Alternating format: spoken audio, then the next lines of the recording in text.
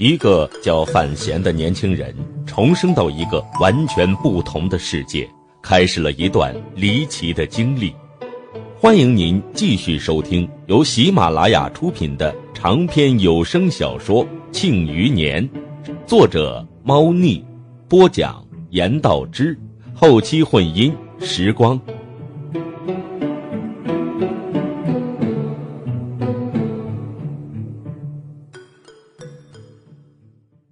第四百七十一集，德德马蹄微响，叛军阵营一分，行出几匹马来。当先一匹马上坐着一人，此人浑身上下笼罩在黑衣之中，将面容也遮住了。燕小乙的亲兵不知道这位黑衣人是谁，但只知道燕大都督严令，此行战事皆由此人指挥。本来亲兵们虽严守军令，但心中依然有些不服。但直到穿山越水来到东山脚下，这位黑衣人军令数出，分割包围，将晋军打得落花流水。都是很简单的一些命令，都是很直接的一些布置，却极精妙的配合了大东山脚下的地势和黑夜的环境。这位黑衣人用兵，真真如神。事实证明一切。此时场间五千名长弓兵望向那位黑衣人的眼神，除了敬佩，便只有畏服。就算先前那让人不解的忽然收兵军令，也没有再敢质疑。黑衣人身材高大，坐在马上更显威武，只是可惜被黑衣笼住，看不到他真正的面容。和那些隐在黑衣下的威势，黑衣人远远看着山门下那个浑身是血、白齿如玉的年轻人，一道声音从黑布里透了出来，十分感叹：“壮哉，杀了三次都没有杀死他，真乃猛士啊！若此人投军，不出一年。”天下便有多一猛将。黑衣人忽然微笑了起来。不过，大事已成，匹夫之力，何以逆天呐？只是有些可惜了。再过些时，这位壮士便要死了。他身边忽然有人叹息了一声。黑衣人转头望去，温和询问道。云大家，可是惜才啊！叹息的不是旁人，正是东夷城四顾剑首徒、一代剑法大家云之兰。范闲果然没有料错，东夷城果然派出了他们最精锐的杀手队伍来帮助长公主的叛军，而且竟是云之兰亲自领队。云之兰看了身边的黑衣人一眼，有些勉强的笑了笑。却没有回答这句话，因为场间所有人只有他知道那个浑身血水却依然坚强的保持着笑容的年轻人是谁。那个人呢，不是监察院的官员，甚至不是庆国的子民，他是王十三郎师尊最疼爱的幼徒，自己最成才的小师弟。都疯了吗？云之兰自言自语，喃喃说道：“他心里想着，既然师弟知道师门派了人来，为什么还像一只猛虎般守在山门之处呢？他究竟在想什么呢？”师尊派你去跟随范闲，却不是让你真正成为范闲的助力。云之兰看着远处山门下的那个雪人，在心里无比困惑，想着。行一事便忠一事，甚至连师门的利益也不顾吗？这究竟是疯狂，还是师尊最欣赏的明杀心性呢？不疯魔，何以成活？黑衣人淡淡的回答云之兰的感叹。云之兰摇了摇头，没有说什么。虽然他不清楚小师弟为什么会如此做。但身为剑炉传人，他尊重小师弟，所以不会在这名黑衣人的面前泄露小师弟的底细。他不知道这位黑衣人究竟是谁，但眼下所有的队伍皆是由此人统领，而且旁观许久，他必须承认，这个黑衣人的用兵的确了得，绝无形险妙手，全是一步步稳扎稳打，却是将整支叛军的资源调配到了一种接近完美的境界，没有给庆国的禁军丝毫反击突围的机会。云之兰带着剑庐大部分的高手倾巢而出，配合燕小乙亲兵大营行事。双方配合本来有极大的问题，如果山上的监察院六处剑手，或者是那些武艺高强的虎卫突围，不是那么容易完全封住的。可是骑在马上那位黑衣人，却似乎拥有一双可以看清战场上一切细节的神眼。在突袭之初，便强行命令东夷城的高手去往一个个看似不起眼的地方设伏。最开始的时候，云之兰不明白，但当一次次狙击在这个黑暗中发生，当大东山上一次次突围被这名黑衣人的手腕狠狠地压了下去，云之兰终于明白了，这个黑衣人绝对不是普通人。能够全领战场，却又没有放过任何一个可能的漏洞。如此用兵，非沙场上禁淫数十年不能达成。所以云之兰很疑惑，燕小乙为何不亲自领兵前来？这黑衣人究竟是谁？他在猜测。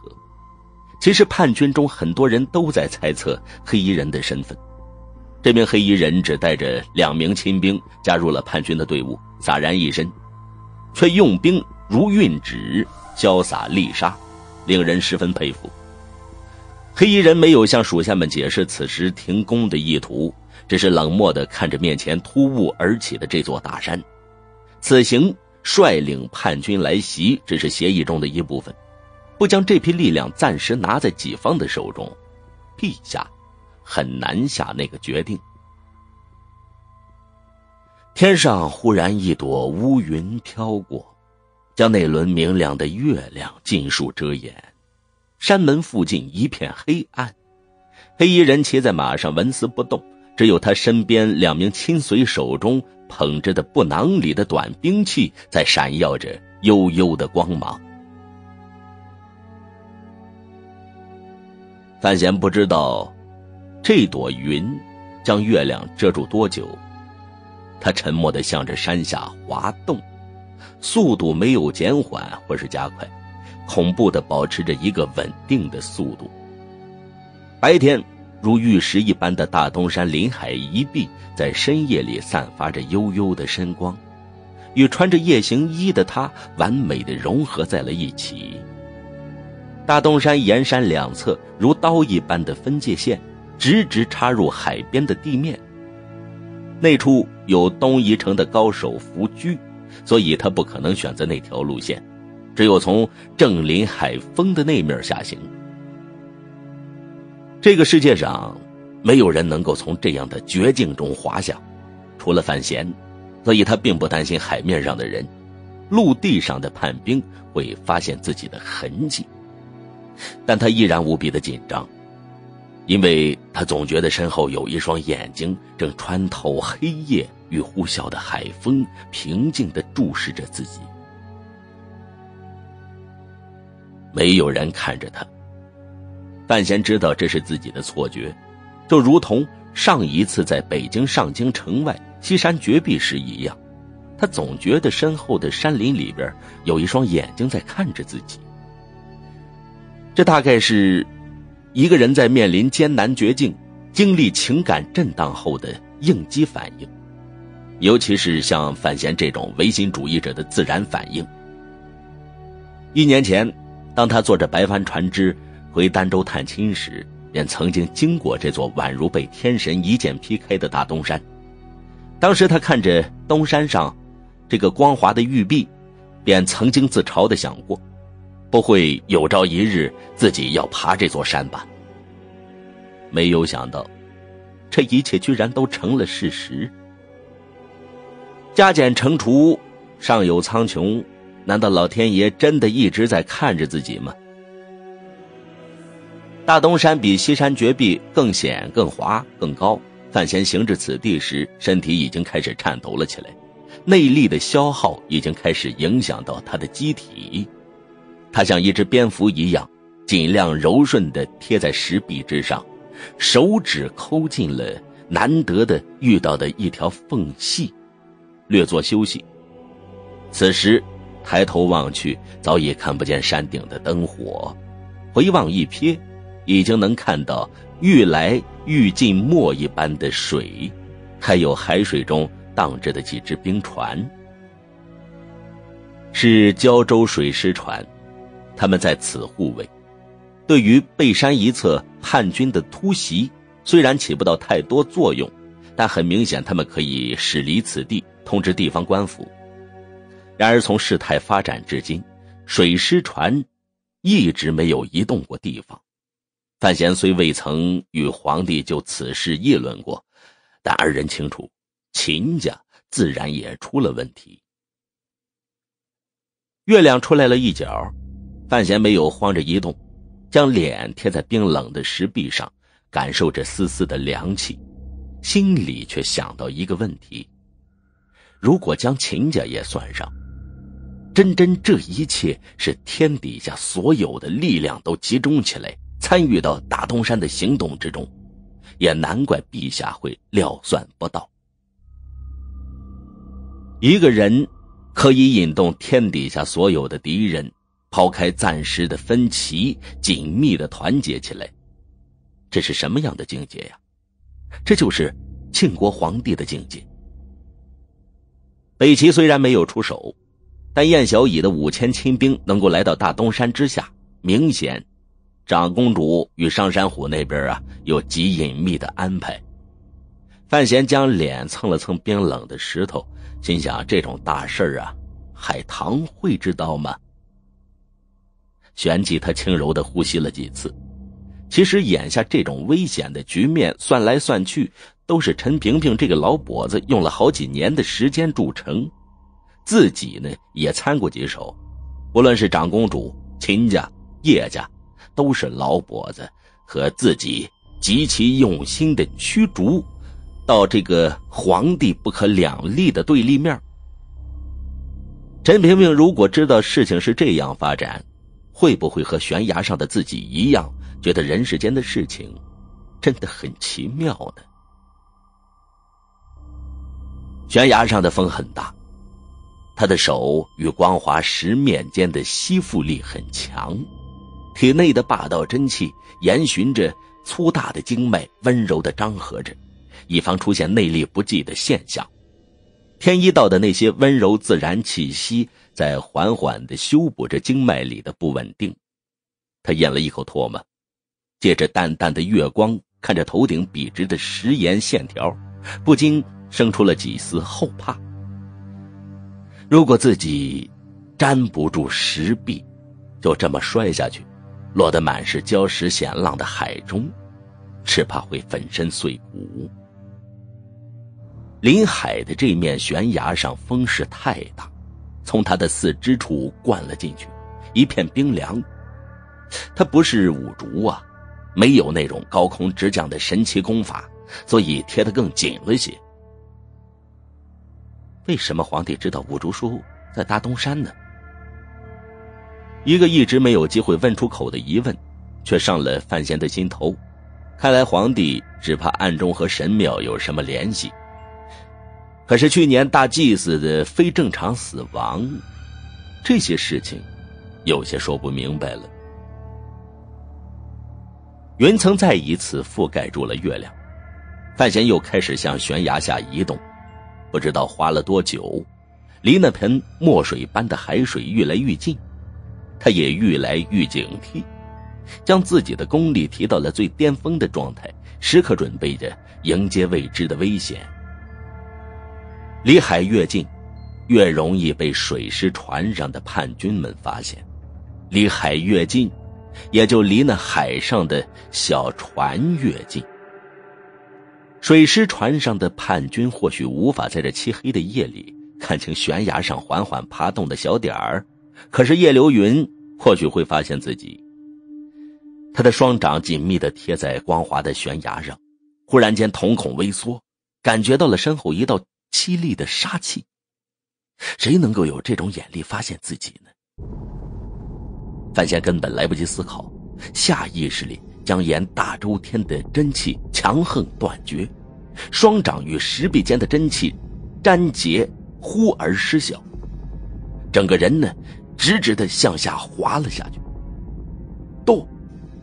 一支黑黝黝的箭雨射中他原本扶着的地方。金属组头深深的扎进了大东山的石壁中，挤出数十粒碎石。如果范闲反应稍慢一些，绝对会被这天外一剑钉在石壁上。而此时他依然处于危险之中，整个身体平滑的沿着石壁向下快速掠动。范闲闷哼一声。刚刚断绝的真气流动，复又强行催动到了极致，双掌轻柔的拍在石壁上，勉强稳住了自己的身形。嗖，第二支黑箭狠狠的射中他脚下的石壁，距离他的脚跟只有半寸的距离。情况实在是险之又险，发箭之人明显有个提前量，算准了范闲跌落的速度。如果范闲先前意图自然坠落，避过这忽然袭来的箭雨，一定难逃此厄。范闲背上冷汗直冒，右掌一震，竟然将自己的半边身子震得离壁而出，在空中画了一个半圆，重新又贴回了石壁上，只是换成了正面对着大海，根本来不及思考。纯粹是下意识里沿着石壁向下滑动了三尺，紧接着右掌再拍，身体很古怪的折弯，向下一扭。而海面上一艘冰船内，十几只黑色的箭雨冷酷无情的向他射来，擦过他的身体，刺穿他的衣裳，狠狠的扎进了石壁中。哆哆哆哆，范闲在石壁上顽强。而危险的闪避着，纯粹凭借着重生二十年来不曾停歇的磨练和五岁时五竹打下的基础，下意识的躲避这些神出鬼没的剑枝。场面很危险，那些黑剑连环而发，根本没有给他任何反应的机会，而且对于他下一个落脚点似乎算得清清楚楚，逼得他随时有可能从悬崖上跌落下去。而很奇妙的是，范闲每每。在似乎要被这些黑箭射中之前刹那，提前做了预判，体内的真气沿着两个周天强烈的运行着，补充着他真气的损耗，让他可以勉强的保证两只手掌总有一个会停留在石壁上。每每看着要跌落的时候，贴在石壁上的一只手掌却带动着他，扭曲着身体弹起落下，似乎永远不可能离开石壁的引力。它就像是一个黑色的材质做成的木偶，四肢被大东山石壁里的神秘力量牵引着，在悬崖上做着僵硬而滑稽的舞蹈。而那些紧紧跟随他身体而至的黑箭，强悍的擦着他的身体射进石岩，在石壁上构成了几道潦草的线条，线条的前端追着他，杀气凌厉。随时可能会将这只木偶钉死，乱箭穿心而死。水师兵船因为担心大东山脚下的暗礁，不敢靠得太近。能够隔着这么远，还能将箭射入石壁的强者，整个天下只有一个人，也只有那个人才能在如此漆黑的夜晚里边，还能发现潜伏在石壁上的范闲。庆军征北大都督燕小乙，不知道过了多久，海面上的黑箭停下，悬崖上没有了范闲的踪影，海上崖下恢复到了安静之中，只听得到一阵阵的海浪拍岸之声。范闲终于成功的避过了连环神箭，落到了礁石之上。最后那只黑箭似乎也射空了，狠狠地扎进了石壁之中，入石一寸有余，剑尾不停颤抖，发着嗡嗡的声音。杆上带着几丝黑布。